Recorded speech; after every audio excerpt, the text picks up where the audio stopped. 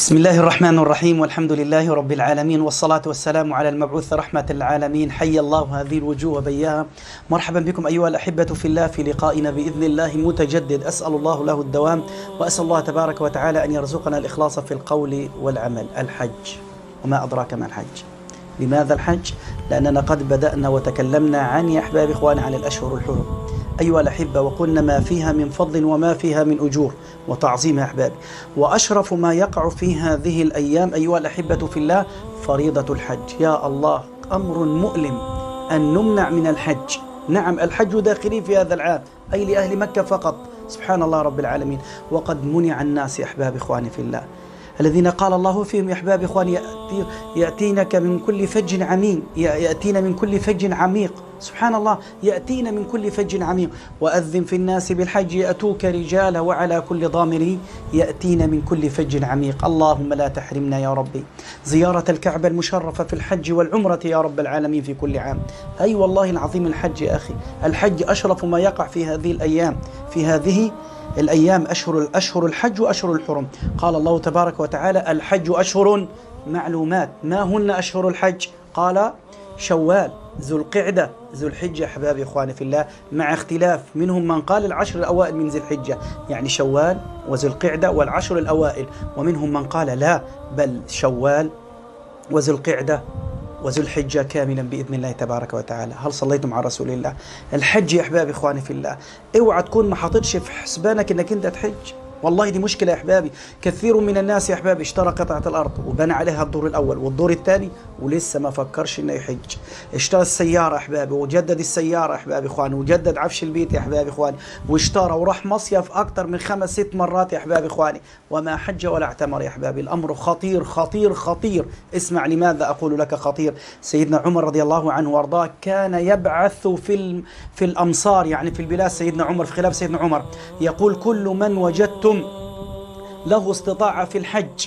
اسمع كل واحد تجدوه أنه عنده استطاعة في الحج ولم يحج فافرضوا عليه الجزية فوالله ما هم بمسلمين. والله ما هم بمسلمين يا أحباب إخواني وإنا لله وإنا إليه راجعون.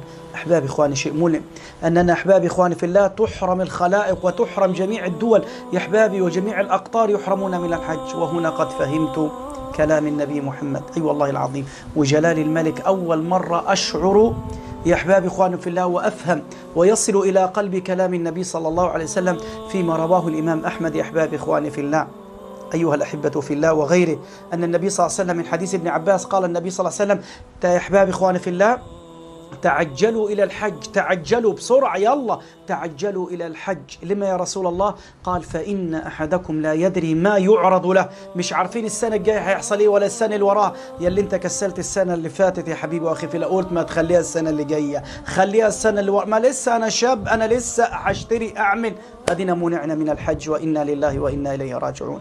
الأمر الثاني هناك قول النبي صلى الله عليه وسلم يا جماعة ما فهمنا إلا الآن. قول النبي صلى الله عليه وسلم من حديث الفضيل رضي الله عنه وأرضاه وهو رواه أحمد وابن ماجه أحبابي إخواني في الله أن سيدنا النبي صلى الله عليه وسلم قال يا أحبابي من أراد الحج فليتعجل لما يا رسول الله؟ قال صلى الله عليه وسلم يا أحبابي إخواني في الله. قال لأنه يمرض المريض يمرض المريض تمرض يمرض المريض. اسمع وتضل الضالة. يعني يا أحباب تتوقف الأمور وإنا لله وإليه راجعون. يعني ممكن تتوقف آه توقفته لا قطار يا أحبابي لا طيران ولا غير طيران ولا كذا. أحباب وقد رأينا ما قد حدث في جميع مطارات العالم. توقفت في لحظة واحدة أحباب إخواني بجند من جنود الله. أسأل الله أن يزيل الهم وأن يزيل هذا المكروب وهذا الفيروس عن أمة النبي محمد صلى الله عليه وسلم. فإنه يمرض المريض وتضل الضالة. أحباب إخواني وتعرض الحاجة. يعني تعرض أزمة معينة أحباب. أسأل الله عز وجل ألا يحرمنا من الحج. الأمر الذي بعده لازم أؤكد عليه أحباب. ما هو الحج يا أحبابي؟ الحج بمعنى القصد يا أحبابي إخواني في الله. هذا في اللغة العربية. أما في الشرع يا أحبابي إخواني في الله هو أحبابي إخواني في الله التعبد لله رب العالمين بأداء نسك أو بأداء الشعيرة الحج يا أحبابي على وفق ما جاءت به السنة. كلام النبي صلى الله عليه وسلم. طب يا أحبابي النقطة التي بعدها حكم الحج. انتبه. انتبه يا اللي انت اشتريت الأرض وما حجتش يا اللي انت وسعت عن نفسك وما حجتش أو اعتمرتش يا راجل الأمر خطير جدا. اسمع. قال العلماء يا أحبابي خلفا وسلفا وقد أجمعت الأمة. حديثا وقديما يا أحبابي قديما وحديثا سلفا وخلفا. كل الأمة أجمعت على أن الحج ركن من أركان الإسلام وهو فرض عين على من تحققت فيه. الشروط يا أحبابي إخواني. طب وايه الشروط يا عم الشيخ؟ اسمع رسول الله قالوا الشروط التي إذا ما توفرت فيك وممكن كان توفرت فيك إن شاء الله. الإسلام اثنين أن تكون بالغ. ثلاثة العقل يا أحبابي إخواني. صل بنا على رسول الله. أربعة الحرية إنك أنت مش عبد الحمد لله. خمسة الاستطاعة. الاستطاعة عم الشيخ قد إيه؟ قالوا من يملك الزاد والراحله قالوا الزاد قد إيه عم الشيخ؟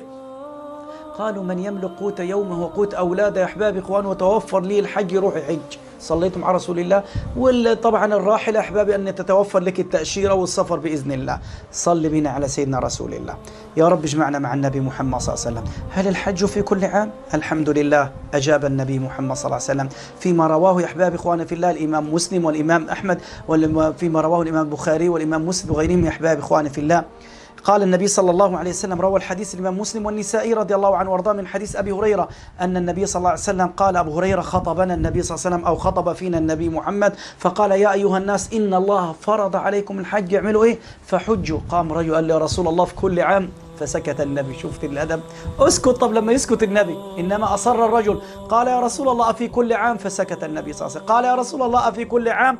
ففي المرة الثالثة قال النبي محمد قال في المرة الثالثة قال بأبي أمي الرحمة المهداة والنعمة المزداة. قال صلوات الله عليه لو قلت نعم لوجبت ولما استطعتم. فذروني وما وما أمرتكم. هل صليتم على سيدنا رسول الله صلى الله عليه وسلم؟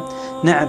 ليه يا رسول الله ذروني وما تركتكم؟ قال إنما هلك من كان قبلكم بكثرة سؤالهم واختلافهم على أنبيائهم. كان يسألوا كثير ويختلفوا مع الأنبياء. الأمم اللي قبلين أحباب ما أمرتكم من شيء؟ إذا أمرتكم بشيء ماشي يا أحبابي إخواني في الله؟ قال النبي صلى الله عليه وسلم فأتوا منه ما استطعتم. اللي حامركم به فأتوا منه ما استطعتم. وإذا نهيتكم عن شيء فانتهوا عنه أو كما قال النبي محمد صلى الله عليه وسلم. طب حكم العمرة؟ العمرة يا عم الشيخ العمرة العمرة. اللي بقى كثير من الناس يقول لك تعتمر أو ما تعتمرش مش مشكلة. لا يا أخي الراجح من أقوال أهل العلم على أن العمرة واجبة يعني تسأل عنها بين يدي الله. ده الراجح من قول أهل العلم يا أحبابي. قول مين ده أحبابي؟ قول سيدنا علي بن أبي طالب رضي الله عنه وارضاه قول ابن عمر رضي الله عنه وارضاه قول سيدنا ابن عباس رضي الله عنه وارضاه قول أم المؤمنين عائشة يا أحبابنا أخواننا في الله. طب يا دليلهم يا أحبابي إخواننا في الله؟ الدليل في الصحيح أن رجلا جاء إلى رسول الله صلى الله عليه وسلم قال يا رسول الله إن أبي الرجل بيقول للنبي محمد إن أبي أحبابي إخواني في الله آه رجل شيخ كبير يا رسول الله لا يستطيع الحج ولا العمرة ولا الظعن يعني ولا السفر ما يقدرش يسافر يا رسول الله.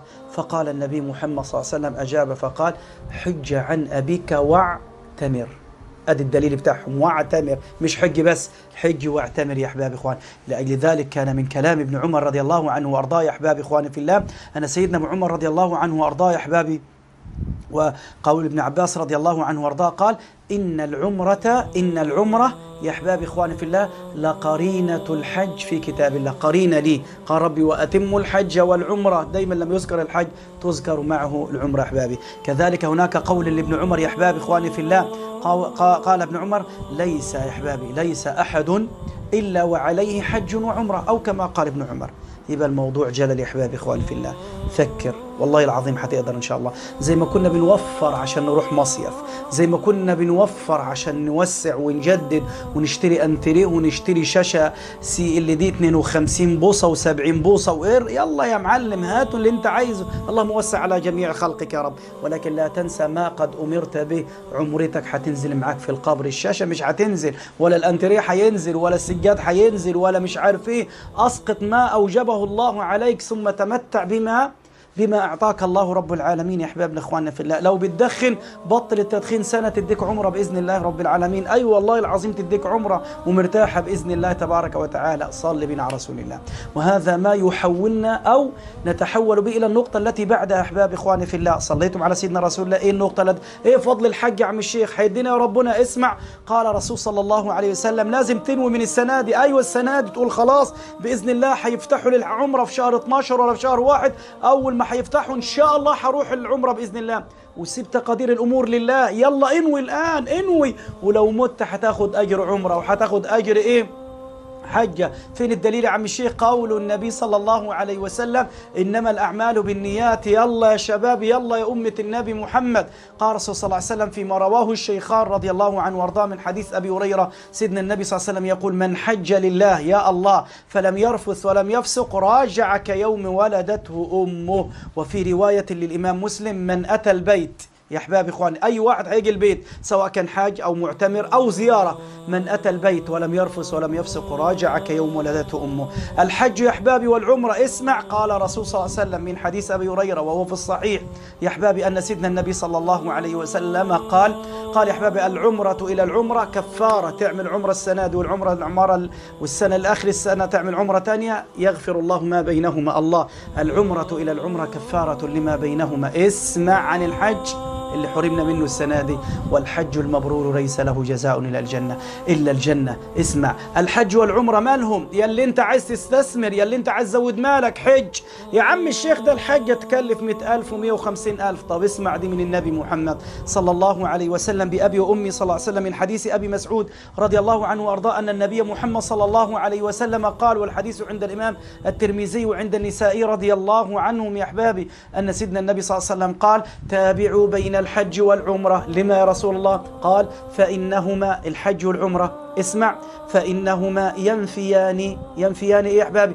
الفقر والذنوب كما ينفي الكير خبث الحديد والذهب والفضة أو كما قال النبي كما ينفي الحديد كما ينفي الكير خبث خبث إيه يا أحبابي إخواني؟ خبث الحديد والذهب والفضة يا أحبابي أو كما قال النبي محمد صلى الله عليه وسلم. بس لا قال والحجة المبرورة ليس لها جزاء إلا الإيه؟ إلا الجنة. لا اسمع اللي بعديها. سيدنا النبي قال ثلاثة في ضمان الله. حديث جابر رضي الله عنه وأرضاه. حديث ابي هريرة عفوا. ثلاثة في ضمان الله. ثلاثة. حديث سيدنا جابر رضي الله عنه وأرضاه. قال النبي صلى الله عليه وسلم رجل خرج إلى مسجد من مساجد الله واحد. اثنين رجل خرج غازيا في سبيل الله. رجل يا أحباب إخواني في الله. خرج يا أحباب إخواني حاجا. خرج حاجا للحج دول في ضمان الله. خذ كمان مكافأة بعديها. قال النبي صلى الله عليه وسلم أيها الأحبة في الله. قال عن الحج وعن العمار حديث سيدنا جابر سيدنا النبي صلى الله عليه وسلم قال الحجاج والعمار وفد الله. الله الله وفد الله. يا أحباب الوفود الجماعة وفود دول دول يا احبابي يقول لك وفد دولة فرنسا وفد دولة ألمانيا وفد دولة تونس وفد جزائر المغرب. يا احبابي اخواني وفد دولة مصر. صليتم على رسول الله صلى الله عليه وسلم. وفد يعني مبعوثين يا احبابي اخواني يعني جريحين يا احبابي اخواني بدعوة. والحجاج رايحين بدعوة رايحين بدعوة. من الذي دعاهم؟ اسمع من النبي محمد الحجاج والعمار وفد الله. دعاهم فأجابوا. ثم سألوه فأعطاهم. لا تصلي على سيدنا النبي صلى الله عليه وسلم. الحجاج وفد الله. دعاهم فأجابوه. وبعدين وسألوه فأعطاهم وسألوه فأعطاهم. دعوة الحاج والمعتمر بإذن الله لا ترد بإذن الله. هل سمعت أكثر من ذلك؟ هل حبيبي وأخي في الله سمعت أكثر من ذلك أجرا لأي فريضة من الفرائض المحروم من حرم من الحج ورب الكعبة. اوعى تعدي عليك السنة اللي جاية وأنت ما كنتش نويت إن شاء الله. انوي من الآن أول ما تفتح العمرة وجهز العدة ابدأ جمعية ابدأ اعمل أي حاجة واترك النتيجة على الله. أقسم لك بالله لولا إطالة الحديث لسمعت قصص من الناس اللي يقول والله العظيم ما كان في بالي الحج ما كانش في باله الحج عشان المال. قال لما نويت وتوكلت على الله جاء المال من كل مكان. كم من أمور قد زللها الله وأزالها لمن صدق مع الله أصدق مع الله يصدقك الله بإذن الله بالحج والعمرة. حبيبي واخي في الله لأجل ذلك حبيبي واخي في الله إياك إياك حبيبي واخي في الله أن تكون عندك الاستطاعة ثم تؤخر الحج. حبيب أخي في الله لأن الأعمار بيد بيد الله سوف نسأل عن عنها بيد الله رب العالمين. وهذا حديث أبي, أبي من حديث أبي سعيد الخدري أن النبي صلى الله عليه وسلم قال إن عبدا صححت له إن عبدا. ربي بيتكلم. قال الله إن عبدا صححت له بدنا أو جسما. يا أحباب وسعت عليه في المعيشة ثم يأتي عليه خمس سنوات ثم لم يفد إلي فإنه لمحروم. محروم من إيه؟ ممكن يكون محروم من رحمة الله محروم من الخير محروم من الأجر. لأجل ذلك صرخة في قلوب في قلوب المحبين. وأهل الله رب العالمين. يلا بفضل الله. وإن منعنا في هذا العام إن شاء الله سوف يكون لنا نصيبا في العام المقبل بإذن الله. أحبكم جميعا في الله. حي الله وجوهكم وطيبكم وحفظكم الله وآواكم. اللهم صل وسلم وبارك وزد على سيدنا رسول الله. والحمد لله رب العالمين.